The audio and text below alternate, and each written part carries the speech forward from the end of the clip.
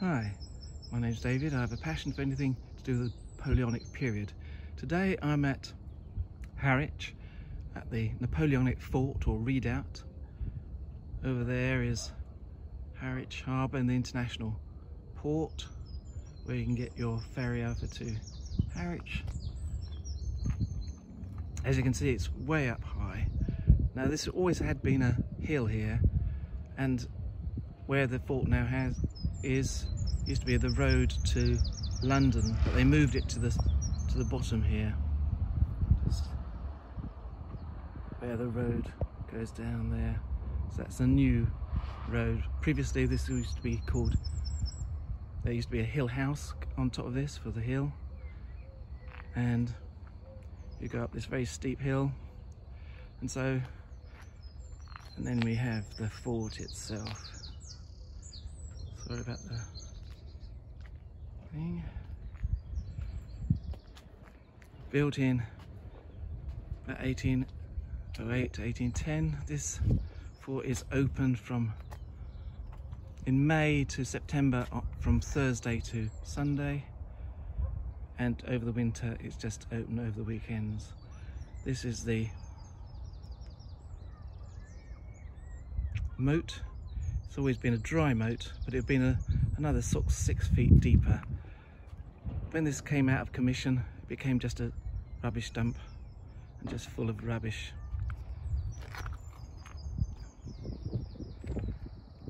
Now this that we're walking on here was a drawbridge or a half drawbridge. It would have been like a seesaw.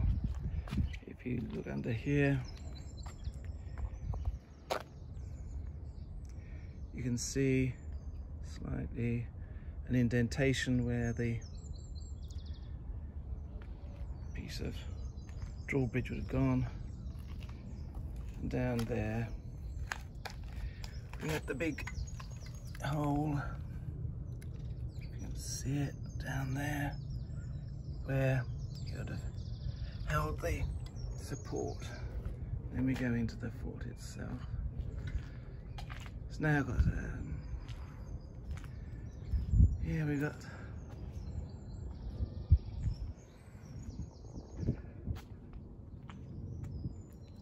the Bofors gun, 1956.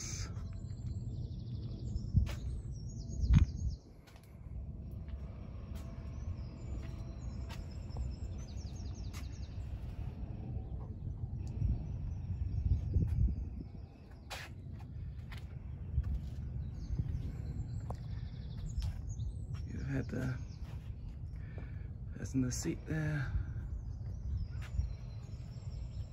And one handle to rotate it around. And then you had somebody standing in this. And you'd have taken the shells out of the back here. So there had been quite a few in, involved in working this.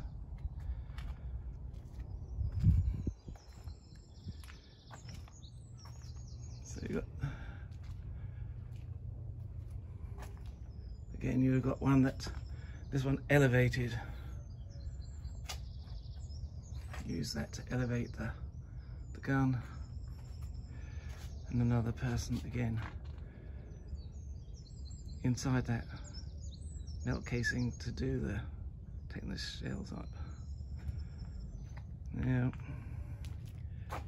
the names on here, like Bathside and stuff, they're original names. Nobody's sure what they were, so they're just there so people know where to go. They'd say muster at Bathside or whatever. And down here we've got, this is when the old and older guns were rotated on this metal frame to move them about. Not for the Bofors gun, but for earlier guns. Here we have a part of a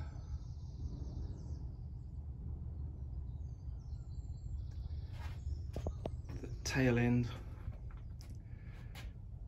of a rocket.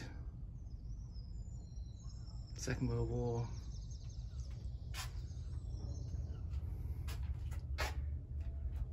There we have a little slideshow.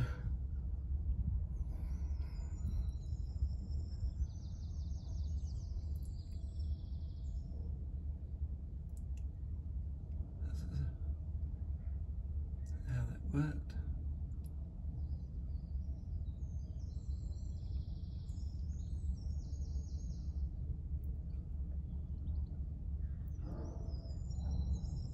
These were at the end of the Second World War, and it became that the scientists who worked on this were then taken from Germany to America to become part of the space program.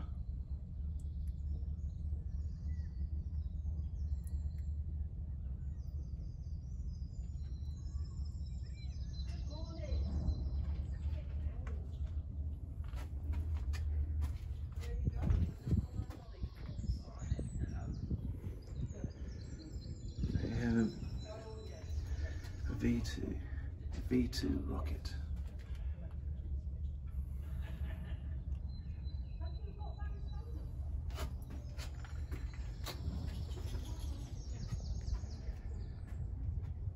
exploded over Harwich.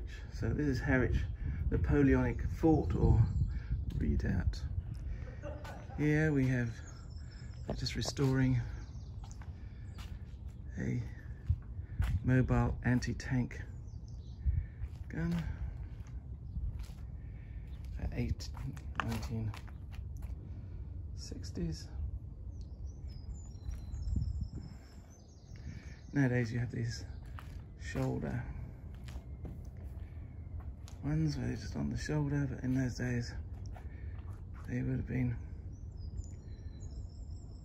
on this. Let's go up the Look at the view from over here.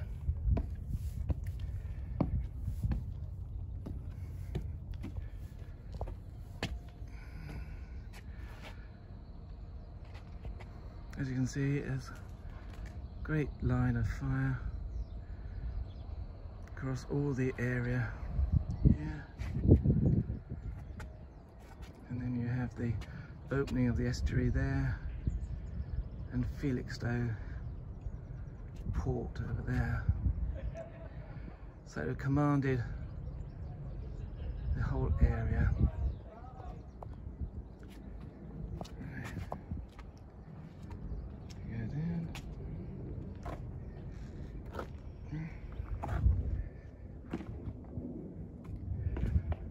Shaking, so I'd step down. This one's called Tate Road, whatever that meant to anybody. It must have been significant.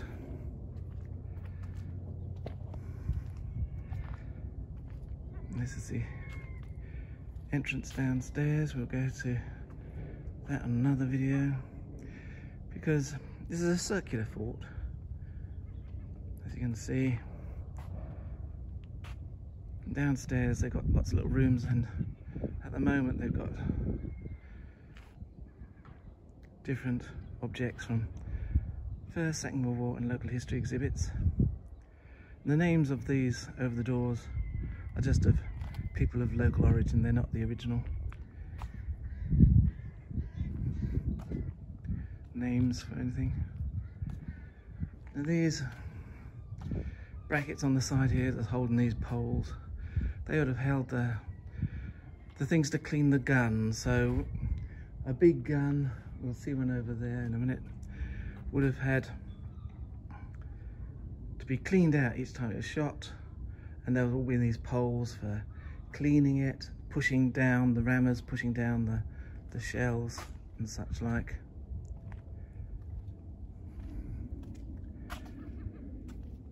And this one, bit undercover at the moment, they're working on it.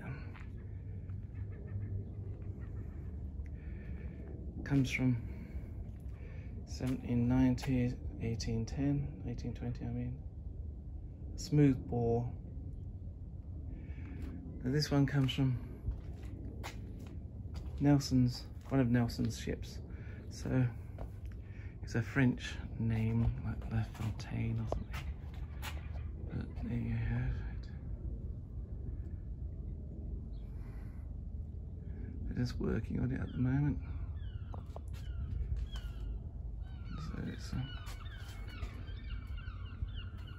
This one comes from Portsmouth. They lent it to the. This is run by the Harwich Society, not the National Trust or anybody like that.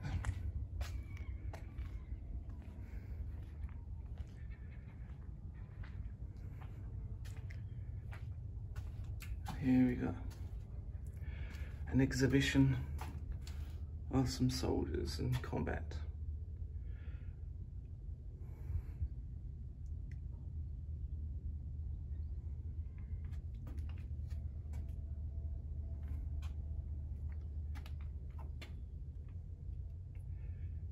Some uniforms.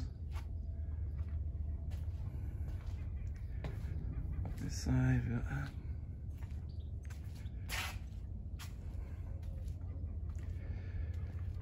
two pounder quick firing pedestal. 1916 this was used from 1810s up until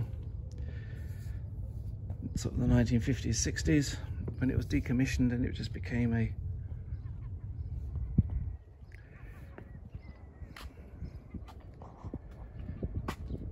over there you can see the ferry going out on its way to Holland. And there you've got Harwich, uh, I'm sorry, Felixstowe Port, one of the biggest container ports in Europe. And over on that side, just the other side of those containers near the edge, another fort, Landguard, and that was also a Napoleonic fort. And between the two of them, they would have dominated the whole estuary because in the day, Harwich was a big naval port. Though there's not much there now, it always has been a very big naval port. So let's have a look at this gun. Again, they're trying to restore it.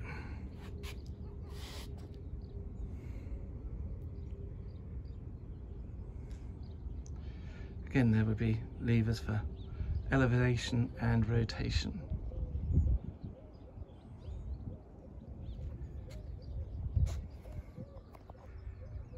Go down the stairs.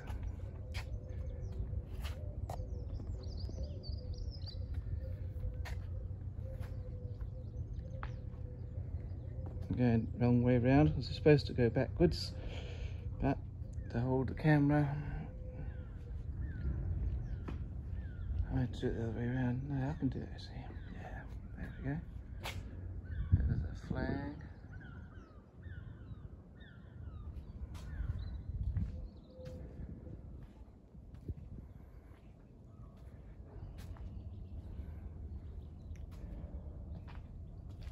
Here we've got a here we've got now, we've got a chairlift, but um, this used to be the officers'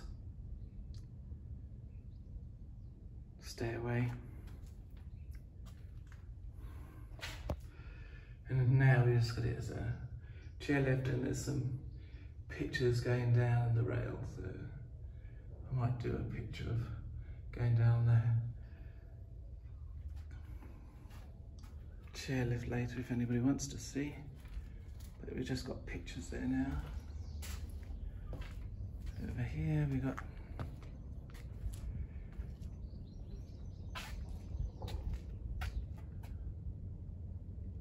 Nineteen sixteen, twelve pounder.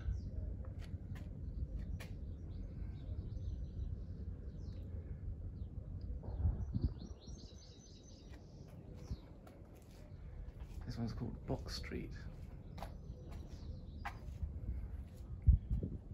Yeah.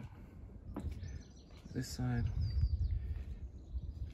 You can see these little places where things have been brought up and down through trapdoors on here. And you've got winches like that over there on the side where the ammunition was stored down below. I'll show you those in another video. It was brought up by those winches up to the guns here as and when they're needed. Here we've got a Gilbert gun.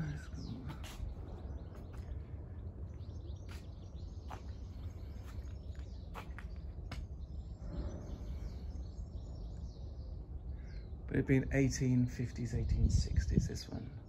And this would have been the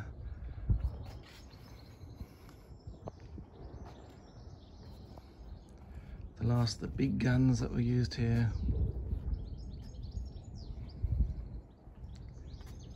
If we look in the front, I'm sure you can see it very well, but there is some rifling on the side there, indentations to make the shot be more accurate.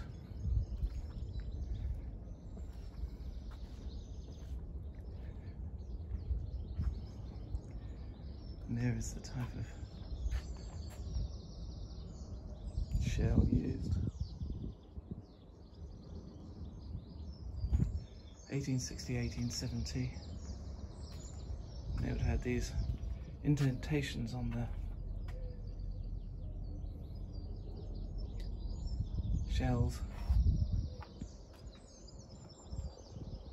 So it would make it shoot much more accurately. And as you can see on there, it was actually buried in the moat and they think there might be some three or four more actually in the moat.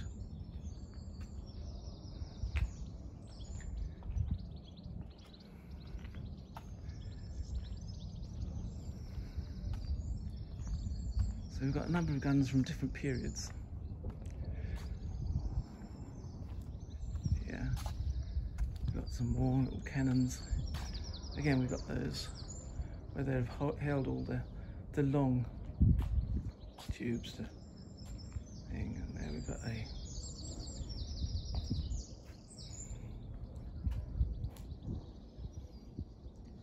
that one's 1790, 1815, English four pounder.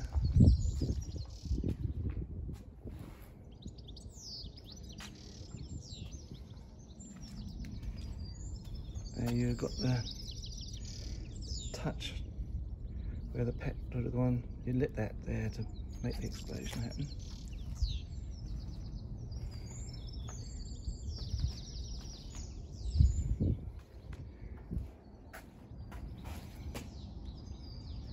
And then one and a half pounder, 1750 to 1780, so it's a bit, bit earlier. These would probably been ship's cannons. These two up here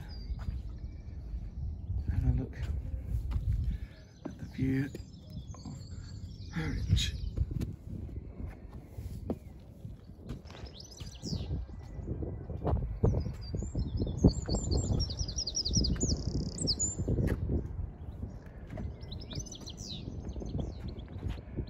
There's a tall lighthouse and the church.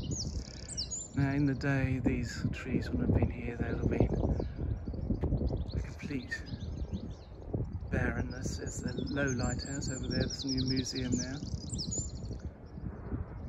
Maybe to Harwich again. Low lighthouse is now a little museum.